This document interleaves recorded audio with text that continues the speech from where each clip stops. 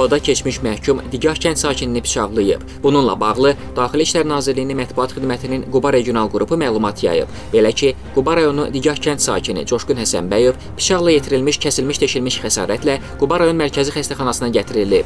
Polis əməkdaşlarının keçirdikləri təxirə salmaz istintaq əməliyyat tədbirləri nəticəsində zərərçəkənə xəsarət yetirən Bakı şəhər sakini əvvəllər narkotik maddələrin satışı ilə məşğul olduğu üçün həbs olunmuş 44 yaşlı Rəşad Aydamirov saxlanılıb. O dindirilmə zamanı törətdiyi əməliyyat etiraf edərək Həsənbəyova aralarında yaranmış mübahisə zəminində bıçaq xəsarəti yetirdiyini bildirib. Faktla bağlı Qubar rayon polis şöbəsində araşdırmalar aparılır.